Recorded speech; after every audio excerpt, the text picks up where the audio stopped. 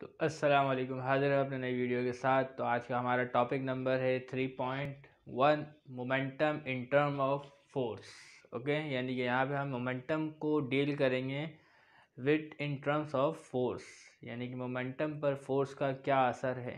ठीक है ना? फोर्स बढ़ाने से मोमेंटम पे क्या फ़र्क पड़ता है? मोमेंटम पर क्या चेंज आता है? उसे डील करेंगे। तो आज हम ज़रा देखते हैं। इससे पहले आपने मोमेंटम के बारे में पढ़ा है कि मोमेंटम का फॉर्मूला क्या होता है? P is equal to M V और मोमेंटम किसे कहते हैं? कि quantity of motion in a body को क्या कहते हैं? मोमेंटम कहते हैं। और मोमेंटम को मालूम करने के लिए हमें मास और वेलोसिटी का प्रोडक्ट लेना पड़ता है तो उससे किसी मूविंग बॉडी का मोमेंटम पता चल जाता है। ठीक है ना? तो मास और वेलोसिटी का प्रोडक्ट लेंगे तो आपको मोमेंटम पता चल जाएगा। लेकिन यहाँ हम देखेंगे momentum in terms of force के रिस्पेक्ट से कि फोर्स में चेंजिंग करने से मोमेंटम पर क्या फ़र्क पड़ता है। तो आ जाए ज़रा देखते हैं। ठीक है? तो consider a mass of body अब consider a mass of a body of mass M ठीक है ना? तो एक कंसिडर करें, ख्याल करें कि एक बॉडी है जिसका मास है एम तो consider a body of mass M moving with initial velocity ठीक है ना? तो एक बॉडी है हमारे पास ओके? ठीक है, एक बॉडी है, जिसका मास क्या है हमारे पास? एम है। जिसका मास क्या है हमारे पास? एम है, और उसकी जो इनिशियल वेलोसिटी है, वो क्या है आपके पास? वी आई है। ठीक? Let a force act on the body तो इसके ऊपर क्या हो बेटा? एक फोर्स अमल करती है, एक इसके ऊपर एक फोर्स अप्लाई होता है। ठीक है? अभी इसका मास एम और रेस्ट पर है तो इसकी वेलोसिटी क्या है? ज़ीरो है, या इनिशियल वेलोसिटी है? तो अब उसके ऊपर क्या होता है? एक फ़ोर्स उसके ऊपर एक्ट करती है। तो जब इसके ऊपर फोर्स एक्ट करेगी तो इसमें क्या प्रोड्यूस होगा? एक्सेलरेशन प्रोड्यूस होगा। क्या प्रोड्यूस होगा? एक्सेलरेशन ठीक है ना? यानी कि आप जानते हैं कि फोर्स क्या प्रोड्यूस करवा सकता है? एक्सेलरेशन और what is acceleration acceleration is change in the velocity ठीक है ना? इन सेकंड तो अभी इसकी वेलोसिटी वी आई है तो जब इसका फोर्स लगेगा तो इसमें एक्सेलरेशन आएगा, यानी चेंज ऑफ़ वेलोसिटी होगा और इसकी वेलोसिटी क्या हो जाएगी? आगे बढ़ के अगर ये कार जो भी है, ये यहाँ पर आ जाती है, ठीक है? तो इसकी वेलोसिटी हो जाएगी वी एफ़ इसकी वेलोसिटी क्या हो जाएगी? वी एफ़ क्योंकि इसमें आया चेंज इन वेलोसिटी क्योंकि इसमें आया है चेंज इन वेलोसिटी तो ये होगी फाइनल वेलोसिटी और ये है इनिशियल वेलोसिटी ठीक? तो लिखा हुआ which produce an acceleration A यहाँ तक क्लियर है, आपको आगे देखिएगा। This changes the velocity of the body तो एक्सलेशन क्या करता है? वेलोसिटी में तब्दीली लाता है। Okay let its final velocity after time T ठीक है ना? तो बॉडी को यहाँ से यहाँ तक आने में क्या लगेगा भाई? टाइम भी लगेगा। तो let its final velocity V F after time T okay becomes V F तो टाइम लगेगा वी आई से वी एफ़ आने में। ठीक है? मास वही रहेगा। मास में कोई तब्दीली नहीं आएगी। मास में कोई तब्दीली नहीं आएगी। ओके? उसके बाद है अच्छा ज़रा आप इस बात पे अगर गौर करें तो अगर ये बॉडी इनिशियल में तो इसका भी कुछ ना कुछ मोमेंटम होगा, ठीक है? तो ये है बेटा, ये बिफोर स्टेट है, ठीक है ना? और ये है आफ्टर चेंज इन वेलोसिटी। ये बिफोर चेंज इन वेलोसिटी और ये है आफ्टर चेंज इन वेलोसिटी। तो इन जो बिफोर है, इसका मोमेंटम कुछ और होगा और फाइनल वाले का मोमेंटम कुछ और होगा हमारे पास, ठीक है ना? वेलोसिटी तब्दील करने से पहले इस गाड़ी का मोमेंटम आपके पास कुछ और होगा वेलोसिटी तब्दील करने के बाद आपके पास गाड़ी का मोमेंटम कुछ और होगा, ठीक है ना? ये याद रखना आपको।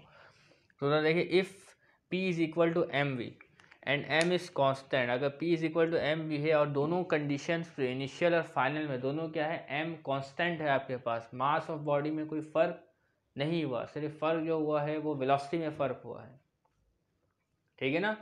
तो फ़र्क हमेशा किसमें आएगा? वेलोसिटी में फ़र्क आएगा। तो लिखा हुआ आएगा, mass is constant, the change in velocity, the change in velocity changes the momentum of the body. तो वेलोसिटी में तब्दीली होने की वजह से ही मोमेंटम में भी क्या आ जाएगा? आपके पास फ़र्क आ जाएगा। ठीक है? तो अगर इसकी वेलोसिटी तब्दील होती है, इसकी वेलोसिटी तब्दील होती है तो मोमेंटम में भी फ़र्क आएगा, क्योंकि मोमेंटम में जो ताल्लुक है, मास और वेलोसिटी दोनों का है। तो अगर वेलोसिटी बढ़ेगी तो मोमेंटम बढ़ेगा, वेलोसिटी कम होगी तो मोमेंटम भी कम होगा। जिसको मैंने आपको मोमेंटम में पढ़ाया है, अगर आपने वो वीडियो नहीं देखी तो वीडियो नंबर टू को ज़रूर चेक करें ओके तो आज इसकी डेरिवेशन को हम ड्राइव करते हैं जिसमें momentum in terms of force आपके पास मौजूद होगा, ठीक है? तो आए ज़रा इसमें मोमेंटम एक बिफोर चेंज इन वेलोसिटी और एक आफ्टर चेंज इन वेलोसिटी है तो इसके लिए क्या होगा आपके पास? इसके लिए तो आपके पास कुछ इस तरीके से होगा, ठीक है? बिफोर चेंज इन वेलोसिटी ये होगा आपके पास P I is equal to M और वी आई ठीक है? वी आई क्यों है और और पी आई क्यों है? क्योंकि before before change in velocity ठीक है? बिफोर चेंज इन वेलोसिटी यानी इनिशियल वेलोसिटी पर। मास कांस्टेंट रहेगा ओके अब जो दूसरा है आफ्टर चेंज इन वेलोसिटी वो आपके पास क्या होगा? पी ठीक है? ये आई हो गया और फाइनल वेलोसिटी के लिए एफ़ लगा देंगे, ठीक है? मास सेम रहेगा तो मास में कुछ नहीं लिखेंगे और वी के साथ क्या लिखेंगे? एफ़ लिखेंगे। एफ़ क्यों लिखेंगे? क्योंकि फाइनल वेलोसिटी के बारे में है। किसकी वेलोसिटी के बारे में? फाइनल वेलोसिटी के बारे में है। तो अब हम इसके बाद मालूम करेंगे चेंज इन मोमेंटम क्या मालूम करेंगे? चेंज इन मोमेंटम तो हम जानते हैं कि चेंज इन मोमेंटम किसके बराबर होता है। तो चेंज इन मोमेंटम बराबर होगा किसके बराबर होगा? बेटा सोचे ज़रा, दिमाग आप लगाएँ। ठीक है? देखिए, आपसे इस पहले चैप्टर टू में पढ़ा है चेंज वेलोसिटी के बारे में। ठीक है ना? चेंज इन वेलोसिटी किसके बराबर होता है बेटा? तो चेंज इन वेलोसिटी बराबर होता है आपके पास V F minus V I ठीक है, किसके बराबर होता है? V F minus V I इसी के बराबर होता है। तो उसी तरीके से आपके पास चेंज इन मोमेंटम किसके बराबर होगा? Final momentum minus initial momentum ऐसे ही है। तो चेंज इन मोमेंटम आपके पास बराबर होगा। Final momentum minus initial momentum okay तो इसको मैंने यहाँ पे वर्डिंग पे लिखा है और अगली बार हम इसको सिंबॉलिक फॉर्म में लिखेंगे। बिल्कुल वैसे ही है final momentum minus initial momentum जैसे यहाँ final velocity minus initial velocity है। तो अब इसको हम सिंबॉलिक फॉर्म में लिख देते सिंबॉलिक फॉर्म में किस तरीके से लिखाएगा? Change in loss change in momentum अगर आपके पास है तो आपको करना कुछ यूँ पड़ेगा। तो आप लिखेंगे इसकी जगह P F minus P I okay P F minus P I ठीक है? Change momentum P F minus P I okay उसके बाद फाइनल मोमेंटम में आप लिखेंगे फाइनल मोमेंटम की value M V F okay यहाँ लिखा हुआ आपके पास।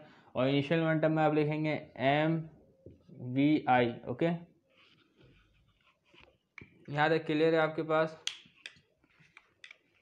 अब उसके बाद आपको क्या करना है? आपको इसमें डिवाइड करवाना है दोनों साइड टी से, ठीक है ना? दोनों साइड दोनों साइड की तरफ़ दोनों इस तरफ़ भी और इस तरफ़ भी आपको क्या करवाना है? इसको टी से डिवाइड करवाना है।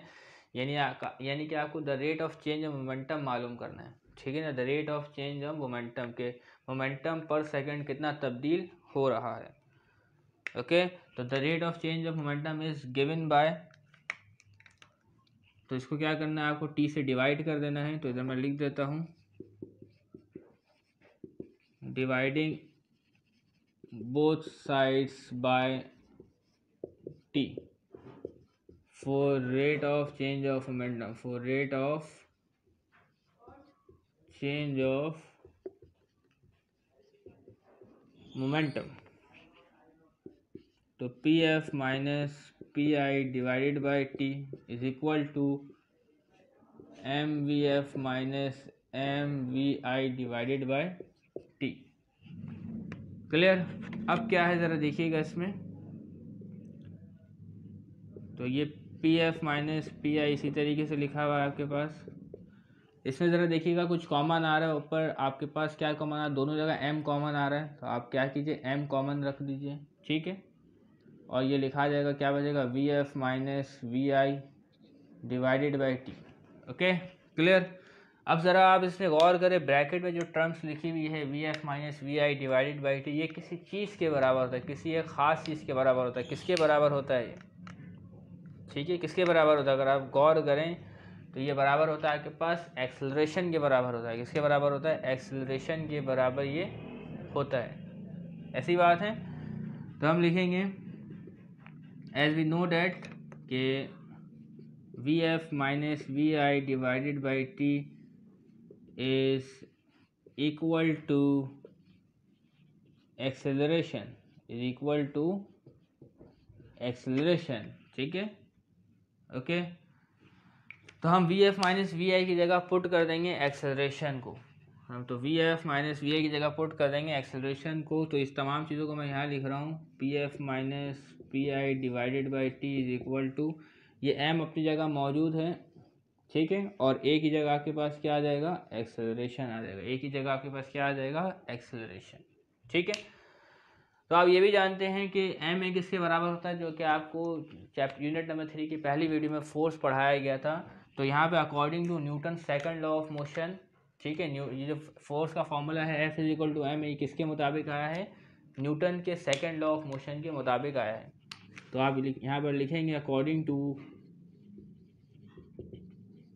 to Newton second law of motion ठीक है? Newton second law of motion F is equal to M है। ठीक है? F is equal to M है। तो आप एम ए की जगह पुट कर देंगे, क्या पुट कर देंगे? F okay? और ये आपके पास जो है, इसको हम इस तरफ़ लिख देंगे P F minus P I divided by T तो इस तरीके से आपके पास क्या है? ये एक फॉर्मूला ड्राइव हो गया चेंज इन मोमेंटम के लिए, ठीक है? तो चेंज इन मोमेंटम कितना आएगा? टाइम के रिस्पेक्ट से तो आप ये फॉर्मूला इस्तेमाल करके मालूम कर सकते हैं कि कितने फोर्स लगी है, इतना चेंज ऑफ़ मोमेंटम हासिल करने के लिए। अच्छा इस फॉर्मूले को इस तरीके से भी लिखा जा सकता है पी है, ये चेंज इन मोमेंटम है तो आप इसकी जगह लिख सकते हैं डेल पी ठीक है? डेल्टा पी या change in P divided by time ये फॉर्मूला भी इस्तेमाल होता, हो सकता है अगर आपको डायरेक्ट नोमेरिकल में चेंज इन मोमेंटम दे दिया गया है, ठीक है? और इसके अलावा ये फार्मूला भी इस्तेमाल हो सकता है। कौन सा वाला फार्मूला ये फार्मूला भी इस्तेमाल हो सकता है, ठीक है ना? यानी किसी में अगर आपको मोमेंटम मालूम करना है तो आप इसको हटा कर पूरा मोमेंटम भी लिख सकते हैं, ठीक है ना? फोर्स लिख सकते हैं, अगर आपको फोर्स मालूम करनी है। तो इस तरीके से तमाम मामला हल हो जाएँगे। तो ये एक डेरिवेशन ड्राइव होगा पेपर में आ सकता है तो आप यहाँ तक ड्राइव करेंगे और यहाँ तक ड्राइव करेंगे। तो इसमें जो जितने फॉर्मूले हैं तमाम नुमेरिकल्स में इस्तेमाल होते हैं। तमाम नुमेरिकल्स में क्या हो सकता है? आपके पास इस्तेमाल हो सकते हैं। तो उम्मीद करते हैं कि आपको ये तमाम जो पढ़ाया गया आपको समझ में आ गया होगा। ठीक है ना? हो बहू लफ्ज़ ब लफ्ज़, वैसे ही तमाम फार्मूले नुमेरिकल बनाने में इस्तेमाल होते हैं, ये भी फार्मूला इस्तेमाल होगा। ठीक है? ये फार्मूला इस्तेमाल होगा तो हम यहाँ पे इसको हटाकर, क्योंकि ये बराबर है, किसके बराबर? है चेक करें, ये एफ़ के बराबर है। किसके बराबर है? एफ़ के बराबर है। तो इस तमाम टर्म्स को हटा के हम यहाँ पे एफ़ भी लिख सकते हैं। ठीक है, लेकिन ये डेरिवेशन ड्राइव की गई है तो ये तमाम फार्मूले इस्तेमाल होंगे। ये फार्मूला भी इस्तेमाल होगा, ये फार्मूला भी इस्तेमाल होगा, और ये वाला फार्मूला भी इस्तेमाल होगा। तो इस फार्मूले को मैं यहाँ लिख देता हूँ। तो F is equal to M और इसके बाद आ जाएगा आपके V F minus V I divided by T तो ये तीनों फार्मूला मोमेंटम के सवाल को हल करने के लिए इस्तेमाल होगा। तो इसके बाद हम लोग करेंगे वर्क एग्ज़ाम्पल नंबर थ्री बस मौजूद है वर्क एग्ज़ाम्पल नंबर थ्री तो आए सवाल को सॉल्व करते हैं। तो सवाल मौजूद है, फाइंड द फोर्स तो हमें क्या मालूम करना है इस सवाल में? तो हमें इस सवाल में जो मालूम करना है, वो फोर्स मालूम करना है, ओके? सिंपल सवाल है, that can stop a body, जो एक बॉडी को रोक सके, ठीक है ना? अब बॉडी को रोक सके मतलब क्या है? तो बॉडी जो है, वो हरकत करती हुई है, ठीक है? That can stop a body to rest, ये भी कहा जा रहा है, रेस्ट पर ले आए, कहाँ ले आए? रेस्ट पर, ओके? तो रेस्ट पर ले तो वो क्या होती है? फाइनल वेलोसिटी ठीक है ना? बॉडी पहले मूव कर रही है तो वो इनिशियल वेलोसिटी है। अब वो आएगी रेस्ट पर तो वो होगी फाइनल वेलोसिटी ओके तो उसे मालूम करना है हमें रेस्ट पर लेकर आना है। ओके कितने सेकंड में? चार सेकंड और टाइम हमें दिया हुआ है चार सेकंड ओके तो रेस्ट पर लेकर आना है हमें। तो रेस्ट पर जब आएगी तो उसकी वेलोसिटी क्या होगी? यानी वी एफ़ क्या होगा? उसका हमारे पास ज़ीरो होगा। रेस्ट पर आएगा तो उसका वी एफ़ क्या होगा? हमारे पास ज़ीरो और इन फोर सेकेंड चार सेकेंड में लेकर आना है okay from its initial velocity और उसकी इनिशियल वेलोसिटी यहाँ के पास 16 मीटर पर सेकेंड यानी जो गाड़ी जो मूव कर रही है, कोई बॉडी है जो मूव कर रही है, उसकी वेलोसिटी इनिशियल वेलोसिटी क्या है? 16 मीटर पर सेकेंड और जैसे ही वो रेस्ट पर आएगी फोर्स लगेगा तो उसकी फाइनल वेलोसिटी हो जाएगी आपके पास zero meter per second okay और जो मास दिया हुआ है, या कोई कोई सी भी बॉडी हमारे पास the mass of the body is three K G the mass of the body is three K और बॉडी का मास है तीन के तो बताएँ उसको रोकने के लिए, उसको रेस्ट पर लेकर आने के लिए कितनी फोर्स हमें दरकार होगी। तो आइए सबसे पहले सवाल का डेटा बनाते हैं और उसके बाद सवाल को सॉल्व करते हैं, ठीक है? और उसके आंसर हम लेकर आते हैं ओके डेटा बनाएँगे तो डेटा क्या कलेक्ट होता है हमारे पास? तो डेटा कलेक्ट होता है हमारे पास जो मास ऑफ़ द बॉडी आपके पास है तो मास ऑफ़ द बॉडी के लिए हम यहाँ पे सिर्फ़ सैम्बल का इस्तेमाल करेंगे। Mass of the body is three K G okay mass of the body is three K G clear अच्छा ज़रा बताएँ आप यहाँ पे वी आई कितना है? वी आई कहें तो इनिशियल वेलोसिटी तो इनिशियल वेलोसिटी आपके पास है sixteen meter per second clear final velocity क्या है? क्योंकि बॉडी जो है वो रेस्ट पर आ जाएगी तो V F is equal to zero clear है यहाँ तक? तो ज़ीरो मीटर पर सेकंड लिख देते हैं। ठीक है? टाइम कितना आपको चाहिए? चार सेकंड चाहिए और चार सेकंड में बॉडी को रेस्ट पर लेकर आना है। टाइम है आपके पास फोर सेकंड और मालूम क्या करना है आपको? To find force how many how much force is required to stop the motion of a moving body तो हमने तमाम क्वान्टिटी से लिख ली डेटा बना लिया। अब बढ़ेंगे हम सॉल्यूशन की तरफ़। तो इसको सॉल्यूशन करने के मुख्तलिफ़ तरीके हैं। डिफरेंट टीचर्स आपको डिफरेंट तरीके से करवाएँगे। सबसे पहले हम यहाँ पे बुक वाले तरीके को फॉलो करेंगे और फिर उसके बाद कुछ डिफरेंट तरीके देखेंगे, कुछ शॉर्ट तरीके देखेंगे ताकि मामला को समझने में आसानी हो और दिमाग भी तेज़ चले। ओके तो इसके लिए हमें फार्मूला हमारे पास अवेलेबल है। तो फार्मूला क्या है?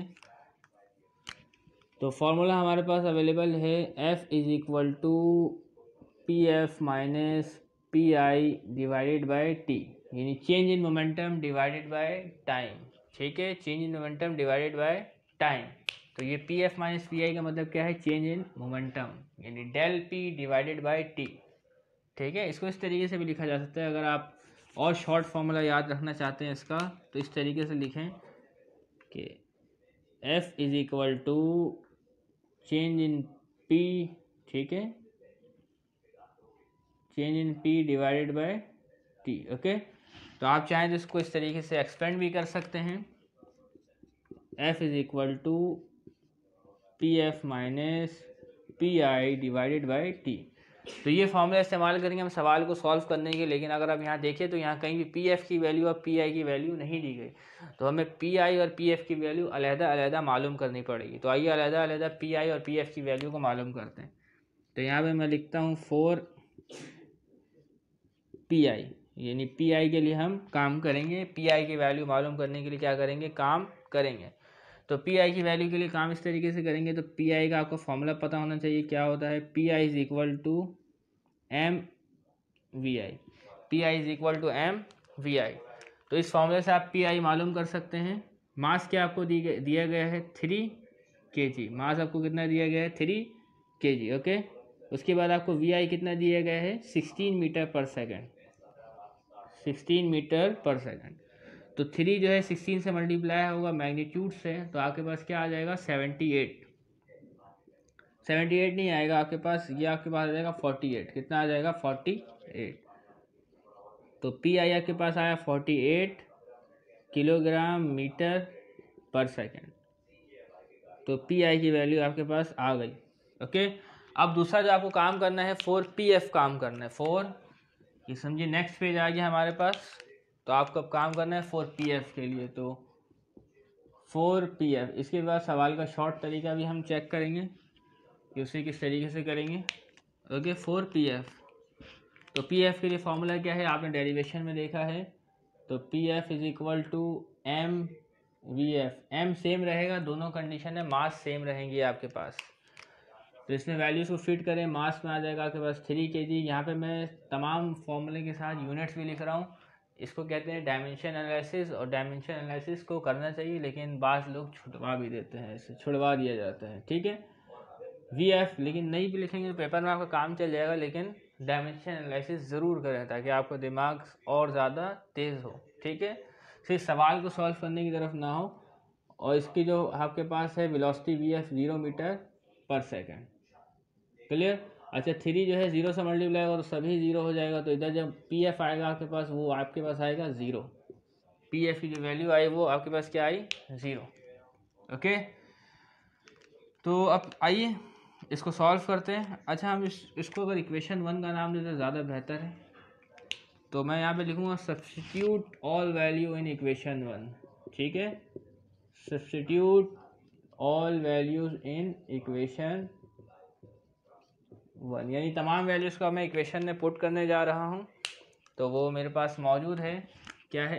F is equal to okay P F की वैल्यू हमारे पास क्या आई? पी एफ़ की वैल्यू जो आई हमारे पास वो आई है ज़ीरो क्लियर पी आई की वैल्यू हमारे पास क्या आई है? ज़रा चेक करें। पी आई की वैल्यू आई है forty eight forty eight kilogram into meter per second divided by time time कितना है हमारे पास डेटा में? ज़रा चेक करें। फोर सेकंड दिया गया है। कितना सेकंड दिया गया है? Four second, okay? चार सेकंड दिया गया है। सेकंड के लिए सिर्फ़ ऐसे इस्तेमाल करेंगे। क्लियर? अब इसके बाद हम आगे बढ़ते हैं, देखते हैं क्या होता है। तो ज़रा देखिए इसमें क्या होता है। नेक्स्ट स्टेप ज़ीरो से ये ख़त्म हो जाएगा तो आपके पास बचेगा बेटा forty eight kilogram into meter per second divided by four second okay? Clear है? तो अब इसमें क्या होता है बेटा? ये फोर वन ज़ा फोर और ये आपके पास आ जाता है, कितना आ जाएगा आपके पास? ट्वेल्व माइनस ट्वेल्व ओके अच्छा ये सेकंड जो है, ये किस तरीके से होता है? मैं ये आपको बता देता हूँ। देखें kilogram into meter kilogram into meter per second ये इस तरीके से होता है। और नीचे जो सेकंड मौजूद है नीचे जो सेकंड मौजूद है, ये क्या है? ऊपर की तरफ़ चले जाएगा तो ये इस तरीके से हो जाएगा। One upon S one upon S ठीक है? तो एफ़ इज़ इक्वल टू क्योंकि मैथमेटिक्स आप पढ़ते हैं तो आपको ये बेसिक कैलकुलेशन पता होनी चाहिए। ठीक है? तो यहाँ एस से एस मल्टीप्लाई होगा तो minus twelve kilogram into meter per second square और kilogram into meter per second square आपके पास बराबर होता है न्यूटन के। तो कितनी, कितने फो, कितनी न्यूटन फोर्स की आपको ज़रूरत होगी उसको रेस्ट पर लाने के लिए थ्री के जी जिसका, जिस बॉडी का मास है और उसकी initial velocity sixteen meter per second है तो उसे आपको रेस्ट पर लाना है चार सेकेंड में तो आपको बारह न्यूटन का फोर्स दरकार होगा। ओके? तो इस तरीके से ये सवाल आपके पास सॉल्व हुआ हुआ है बुक एग्ज़ाम्पल में। तो लेकिन आइए अब इसे हमें थोड़ा शॉर्ट फॉर्मूले की मदद से करते हैं। ऐसे इसको मिटा देता हूँ मैं तो ये आप लिख लीजिएगा स्क्रीन शॉट ले लीजिएगा। तो मैंने बताया था आपको इसको सॉल्व करने के लिए एक और फॉर्मूला भी इस्तेमाल होगा जो कि है F is equal to M V F minus V I okay और डिवाइडेड बाई टी ये फार्मूला है तो हम ये फार्मूला इस्तेमाल करेंगे और सवाल को सॉल्व कर लेंगे। मास कितना आपको दिया हुआ है? थ्री के जी ओके मास आपको दिया हुआ है three K G V F की वैल्यू क्या है आपके पास? ज़ीरो मीटर पर सेकंड ठीक ज़ीरो मीटर पर सेकंड और वी आई की वैल्यू आपको क्या दी गई? Sixteen meter per second. Divided by time जो आपको दिया गया है, वो फोर सेकंड दिया गया क्लियर इसको आगे बढ़ते हैं। यहाँ पे आया थ्री के जी ये तो ख़त्म हो गया, क्योंकि ज़ीरो था, ख़त्म।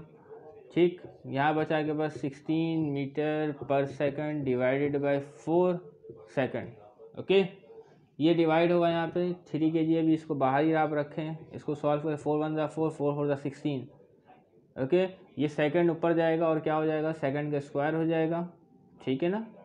तो यहाँ पे बचेगा आपके पास फोर ठीक है? फोर वन ज़ा फोर फोर फोर ज़ा सिक्सटीन और ये आपके पास होगा meter per second square meter per second square ठीक है? ये कैसे हुआ? मैं यहाँ दोबारा बता देता हूँ देखिएगा। इधर सिक्सटीन मीटर पर सेकंड इस तरीके से नीचे सेकंड मौजूद है। तो ये सेकंड जो है, ये सेकंड यहाँ पर आ गया। तो सेकंड से सेकंड स्क्वायर हो जाएगा। सेकंड से सेकंड स्क्वायर हो जाएगा क्योंकि इसके नीचे वन छपा हुआ होता है तो ये इस तरीके से जाएगा। तो ये इस तरीके से हो जाएगा वन अपॉन एस ठीक है? वन अपॉन एस ये तो फोर से फोर कट जाएगा। ठीक है? नहीं तो वन अपॉन एस इस तरीके से हो जाएगा। इस तरीके से। तो मीटर पर सेकंड स्क्वायर हो जाएगा। ओके यहाँ तक क्लियर है? थ्री फोर सा ट्वेल्व अच्छा यहाँ माइनस है माइनस आना भूलिए थ्री फोर सा ट्वेल्व और यहाँ आ गया kilogram into meter meter per second square, और kilogram into meter per second square बराबर होता है न्यूटन के। तो फोर्स जो आपको लगेगी वो कितनी लगेगी? ट्वेल्व न्यूटन दरकार होगी। जिस बॉडी के मास तीन के है और उसकी initial velocity sixteen meter per second है, और उससे चार सेकंड में रुकना है तो इतना फोर्स आपको दरकार होगा। ठीक है? इसके बाद हम एक एक्स्ट्रा सवाल को भी सॉल्व करेंगे। तो आए उस सवाल की तरफ़ बढ़ते हैं। नेक्स्ट सवाल हमने लिख दिया तो आइए सवाल को सॉल्व करते हैं और जल्द से जल्द इसे सॉल्व करते हैं। तो सवाल हमारे पास बॉडी ऑफ़ मास एक बॉडी का मास है फाइव के जी क्लियर आइए डेटा बनाते हैं, हाथ के हाथ डेटा बनाएँगे। ठीक? A body of mass mass is five K G clear moving with a velocity of 10 meter per second moving with a velocity of ten meter per second ठीक है? अभी हमें नहीं पता कि इनिशियल है कि फाइनल है, खैर, अभी हम पढ़ते हैं, उसे समझते हैं। Moving with velocity of 10 meter per second find the force required to stop the body stop कह रहा है। तो मतलब वो इनिशियल वेलोसिटी है और ये फाइनल है। और स्टॉप हो जाएगा तो फाइनल वेलोसिटी क्या होगी? ज़ीरो स्टॉप होने के बाद फाइनल वेलोसिटी क्या होगी? ज़ीरो तो वी आई आपको दिया गया है टेन मीटर पर सेकेंड और वी एफ़ आपको दिया गया है ज़ीरो मीटर पर सेकेंड क्योंकि इस बॉडी को स्टॉप करना है। क्लियर और टाइम आपको दिया गया है दो सेकेंड और दो सेकेंड में बॉडी को स्टॉप करना है। क्लियर तो आइए फार्मूला लगाते हैं इस पर और सवाल को सॉल्व करते हैं। ठीक है? इसका एक शॉर्ट फार्मूला आपके पास मौजूद है। वो क्या है? F is equal to M ठीक? F is equal to M इसके बाद क्या होगा भाई आपके पास? पता है कि नहीं पता? बताइए क्या होगा? M V F minus V I divided by T ठीक है? ये फॉर्मूला इस्तेमाल करेंगे।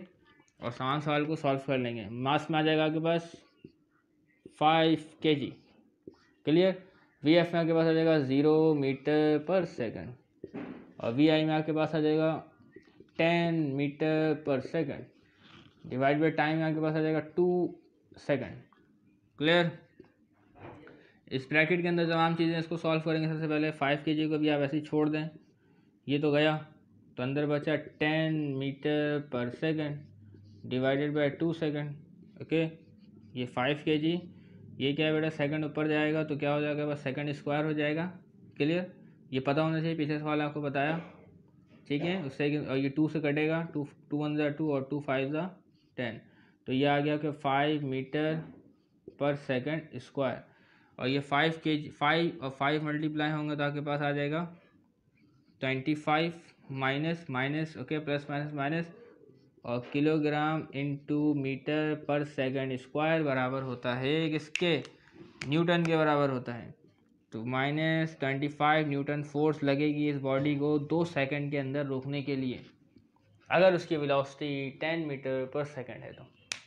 तो इस तरीके से सवाल जो है आपके पास सॉल्व हो जाएगा। अब इसके अलावा आपको लॉन्ग फॉर्मूले से भी करवाते हैं तो दोनों तरीके आपको आने चाहिए, किसी भी तरीके से आप पेपर में कर सकते हैं। ठीक है?